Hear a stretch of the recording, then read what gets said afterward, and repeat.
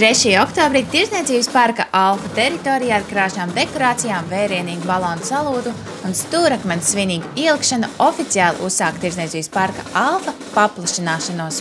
Projektu plānots pabeigt 2019. gada rudenī, bet jau tagad paplašināšanās atklāšanas ceremonijā iezīmējās galvenie gaidāmo pārmaiņu vadmotīvi – sirsnība, ģimeniskums un aizraujoša izklaide.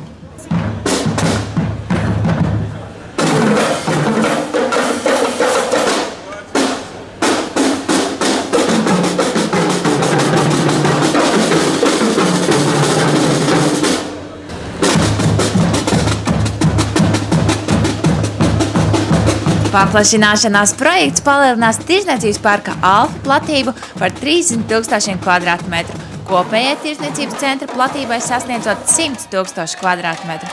Savukārt nomnieku skaits no pašreizējiem 170 tiks palielināts līdz 250. Projektu kopējās investīcijas sasniedz 55 miljonus eiro un to plānots pabeigt 2019. gada augustā.